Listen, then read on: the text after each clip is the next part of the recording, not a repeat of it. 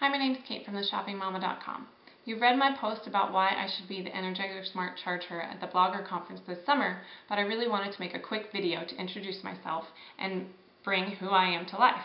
After all, that's really the reason behind the sponsorship, is to bring the Energizer brand and the Smart Charger product to life by talking to other moms and other consumers face to face about why it's a great product. As you can see from the time and energy I've put into this post, I take the sponsorship opportunity really seriously and I'm really looking forward to the opportunity and your consideration. I cannot wait for BlogHer this summer to connect and meet and learn from bloggers that I've really grown to respect over the past year and a half.